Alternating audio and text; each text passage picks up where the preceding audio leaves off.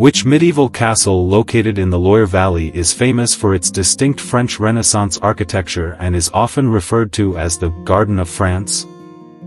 A. Château de Chambord. B. Château de Versailles. C. Château de Chenonceau. D. Château de Fontainebleau. The medieval castle located in the Loire Valley, famous for its distinct French Renaissance architecture and often referred to as the Garden of France, is the Château de Chambord. It is one of the most iconic and largest castles in the Loire Valley, known for its grandiose design, impressive double-spiral staircase, and vast grounds featuring beautiful gardens and forests.